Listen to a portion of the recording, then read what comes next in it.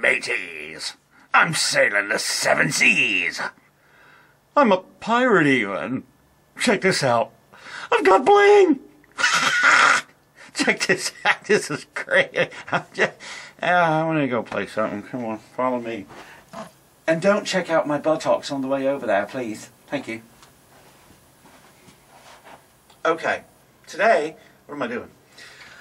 Uh, what we're going to do today is we're going to um, call this one Rudiments 301. It's a little bit more advanced. And uh, we're going to deal with what I call evenness of stroke. And I don't mean evenness of stroke as far as height, even though you could do that. I'm talking about things I see a lot now and it's been around a long time though, in, you know, corps and indoor and all of that. And it's taking a simple pattern such as 16th notes and simply changing the sticking.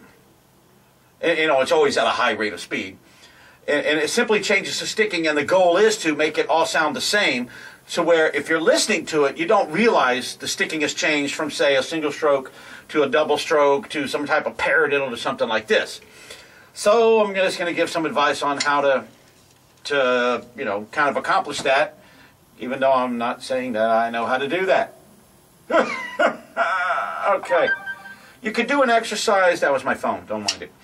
I, I would I do I would do things like this. This is what I normally do. I do uh, like four counts of uh, single strokes uh, at 16th, four counts of double stroke 16th, and then four counts of paradiddles. Like.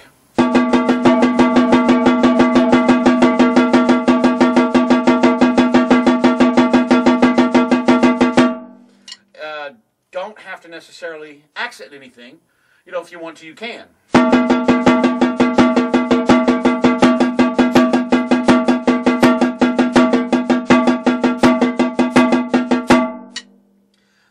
If you if you're doing something like um, uh, flam taps, you could do the same thing with changing the sticking, but keeping the general pattern the same.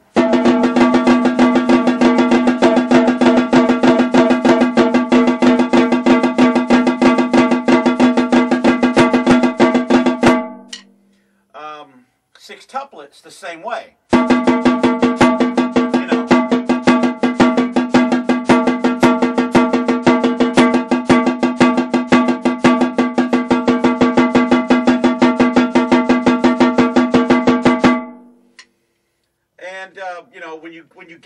You get the faster, they love to go uh,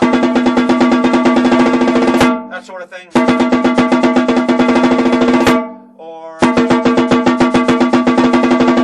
I think right.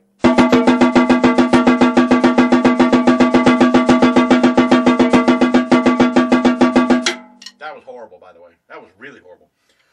Anything that you put into a straight line pattern you know, whether whether you know whether you call it 16 uh, notes, you know, four groups of 16th, or six tuplets or whatever, when you when you have no meter, no four four and all that other stuff, it's just straight. It doesn't matter what it is. It's just right left right left right left, and you just do it any way you want. You know.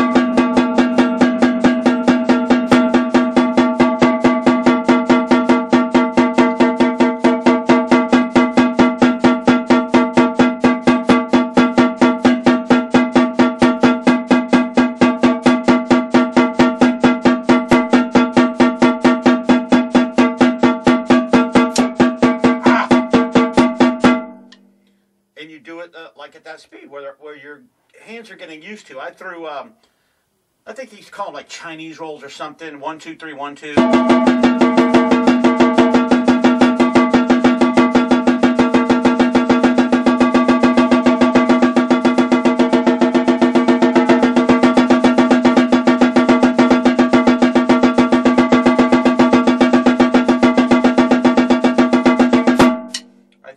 My, my threes sounded a little weird which is why you do things like that because you notice that something's not sounding right. And the best thing to do is, you know, either record yourself or get in a mirror and look at what's going on. I suspect at what I was playing just then, the you know, uh, at whatever height, when I went to threes, my height lowered some, and it caused them to tighten up, and that's why my threes didn't sound as even as the rest of what's going on. Okay, this is. Uh, something that is good to practice for any rudiment. Of course, uh, you know when you when you do your single stroke.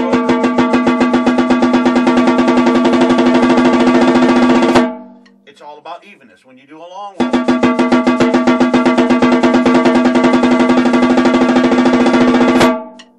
About evenness. Paradiddles.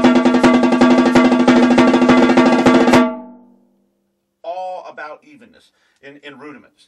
About control. Controlling the rudiment from slow to fast to slow. And the reason why they're done slow to fast to slow is because music has a range of tempos from slow to fast to slow. Also, you're not going to like this.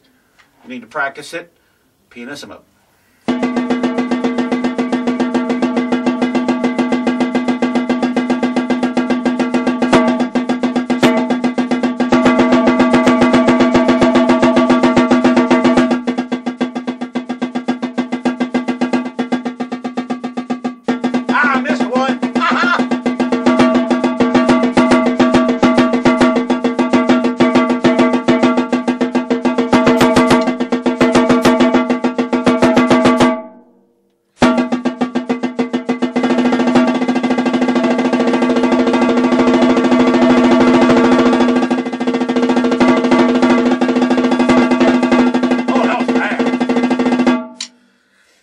The general idea.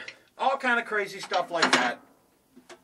It just helps overall in your playing. And this is when you're just practicing by yourself, having fun, fooling around, just like I was. So I even had fun with that, and I learned a couple of things that I can work on. And I learned that uh, this is kind of heavy, this get up, and I learned that I really like myself as a pirate. I think I am going to go to the first pirate ball I see. I'm going to dance the night away. I'm just going to dance. Oh, one other thing. When you're playing, they always talk about playing through the head when you do all this. Okay? Sure. Play through the head, play through the head. Always try to play through the head. The best way to play through the head. yeah.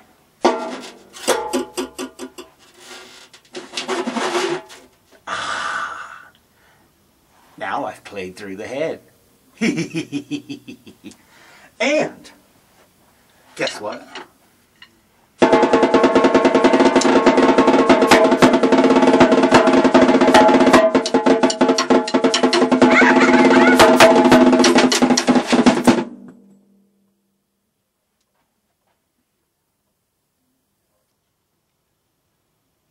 That's a sharp knife, folks.